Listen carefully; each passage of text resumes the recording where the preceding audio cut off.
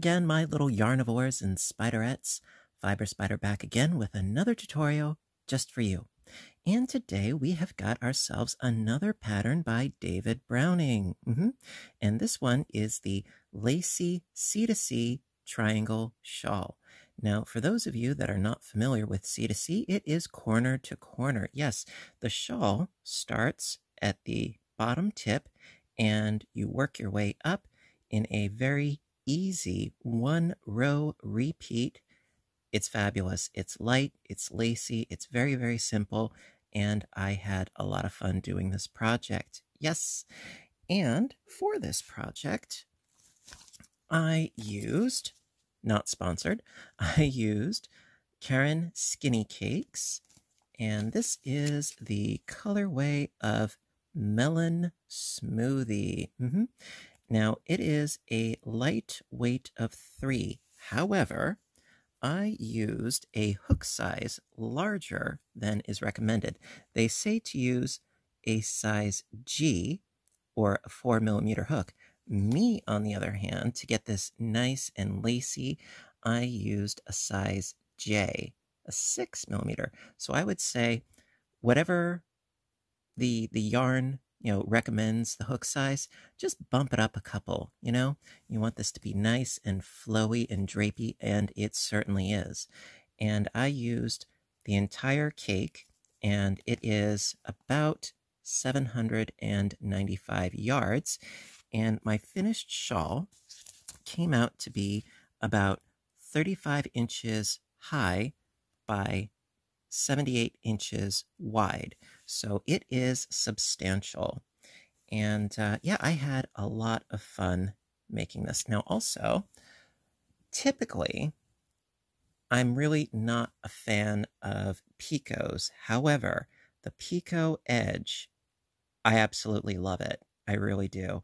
I give credit where credit is due. I think David may have made me into a Picot convert. I don't know, but it was actually very easy. And I think I may be using the Picots more in the future. I don't know. You tell me. So, also, if, of course, you are interested in showing your support, and if you're interested in getting this pattern, links and info will be in the description box down below. Mm -hmm. So, without further ado, let's get started. Okay, so first things first with row one. Now, the rows are going to go flying by, uh, at least initially. So again, I'm using a size J 6 millimeter hook, and I'm using a weight of 3 yarn. Now, this is Lion Brand's ice cream in the colorway of black cherry, if I'm not mistaken. So it is comparable to the skinny cakes. So we're going to start with a slip knot and a chaining of five. One, two, three, four, five. And then into that first chain, going to do a double crochet.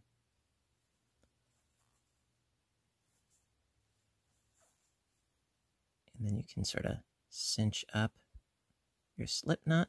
And yes, folks, that is the end of row one. So row two, we're going to scoot right along. Row two, start by chaining up five. One, two, three, four, five. And then again into the first chain that we did, double crochet.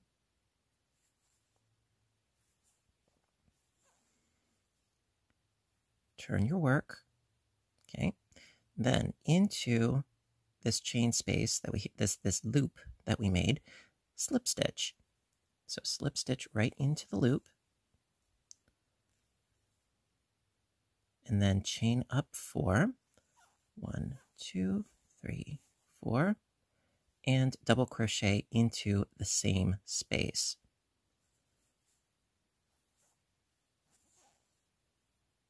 Okay, and that is the first two rows.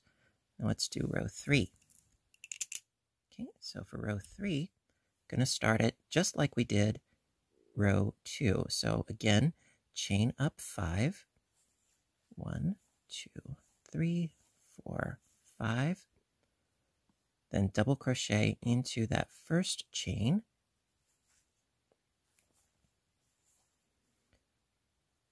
Turn your work into this chain space, slip stitch.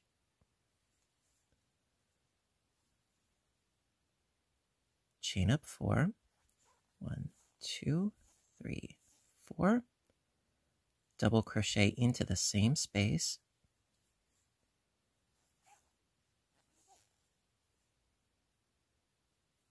Slip stitch into the next loop that we have at the end here. So slip stitch into there. chain up four, one, two, three, four, and double crochet into that same space, that same loop right there.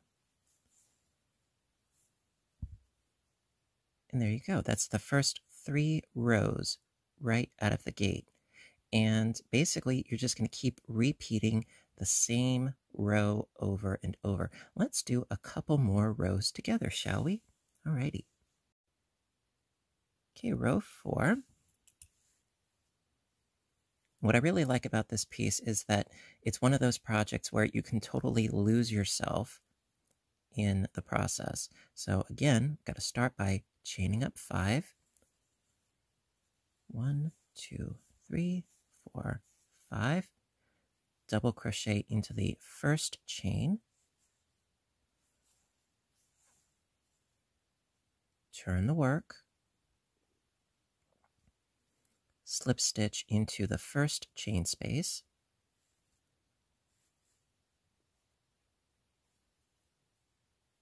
chain up four, one, two, three, four, double crochet into the same space, and then slip stitch into the next chain space.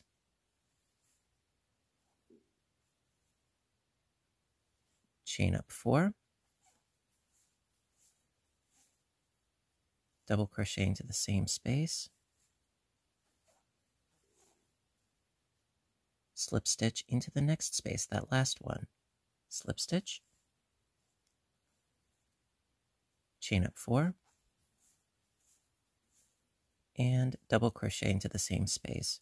Now, when you're doing your slip stitches. You may by accident make a single crochet. I found myself doing that and then because I'm a bit of a purist, I frogged out my stitches. Um, but is it going to make a you know tremendous difference? No, but you know it is something to be aware of. So you know what? Let's do another row. Let's do row five together because I like to be thorough and spend time with you guys. So let's start by chaining up five. One, two, three, four, five. Double crochet into the first chain. Turn the work. Slip stitch into that first chain space. Chain up four double crochet into the same space, slip stitch into the next space, chain up four, double crochet into the same space, slip stitch into the next space, chain up four,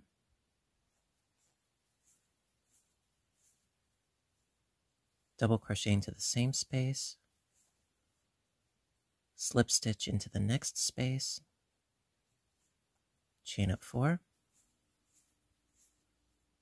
and double crochet into the same space. So you can see it works up pretty quickly. Now I'm using, you know, a, a variegated yarn. I think also this would look really nice if using an ombre. Would look really, really nice. You know, unless, you know, if you use a, a solid yarn, um, you will end up with stripes. If you're using any kind of color changing yarn, yes, you will end up with horizontal stripes. I'm okay with that. Um, so then let's do one more row six. And you're just repeating the same one row repeat, but I like stitching. What can I say? Chain up five. One, two, three, four, five. And then double crochet into that first chain. Turn the work, slip stitch into that first chain space. And after this row, I'm going to show you how to do the edging once your piece is big enough to your liking. So we did our slip stitch, chain up four, double crochet into the same space, slip stitch into the next space, chain up four, double crochet in the same space, slip stitch in the next space, chain up four, double crochet in the same space. Oops. Hmm. Uh-oh, hang on. Trying to catch it. okay, so I got my chaining up of four, double crochet into the same space, slip stitch into the next space, chain up four, double crochet in the same space, slip stitch into the next space, chain up four, and double crochet into the same space. This is a great project to work on while watching a movie because, yes, you can go on autopilot and still end up with a really lovely, lovely piece. Okay, so now, now I'm going to show you how to do that really awesome picot edging, and let's get to it. All right, so when your shawl is big enough and you want to do the edging, start by chaining up one, turn the work, and we're going to be working into these chain spaces. So to start off with, going to do a single crochet into that space, another single crochet, and then a third single crochet. Now to make the picot, chain up three, and then working into the, the side of your single crochet into the side here.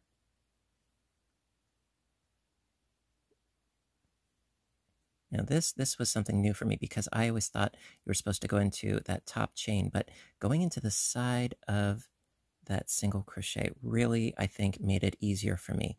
So in the side of that single crochet, do a slip stitch.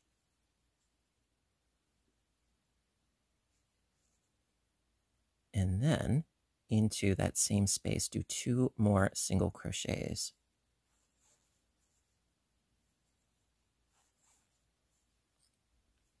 Got a little picot. so cute. And it looks a lot better than the picots that I had attempted to do previously in a former life. So basically it's two singles, then another single, chain three, slip stitch, two singles. So let's let's do the rest of this edge here. So in essence, it's three singles. So into this next space, we're just scooping from one space to the other space. So three single crochets, one, two, three, chain three, slip stitch into the side of the single crochet, and then two more singles in that same space. Into the next chain space, three single crochets, one, two, three, chain three, slip stitch into the side of the single crochet. There we go. And then two more single crochets into the chain space. Into the next chain space, three single crochets. Chain three. Slip stitch into the side of the single.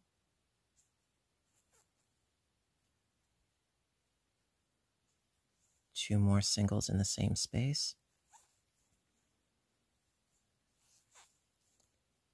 three singles in the next space.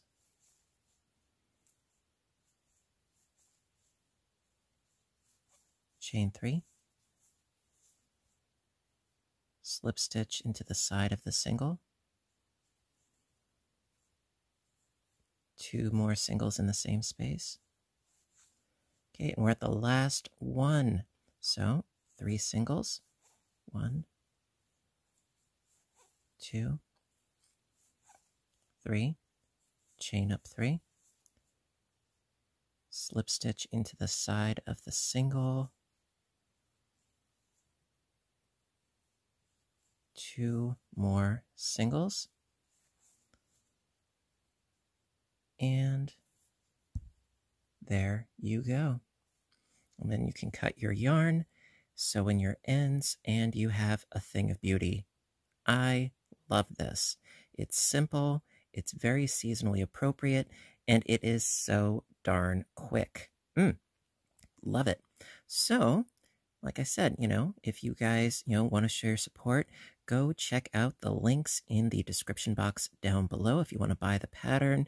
There's also a ton of other info and links and that sort of good stuff. So go go support David. Yes. And if you want to help support me, hit that thumbs up button. Mm-hmm. You know, if you like the video, it does help. Thank you.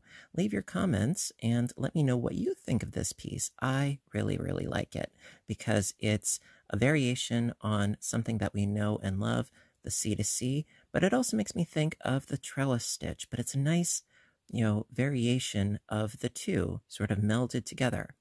Good work, David. So, that being said, if you haven't done so already, please hit subscribe, you know, and because there's always more stuff to come, whether it's crocheting or knitting or audiobook narrations, or you never know what I might come up with. And until next time, you know what to do.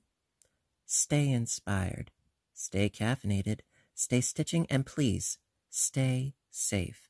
Take care of yourselves and each other, and I will see you in my next video. Bye for now, everybody, and have a good day.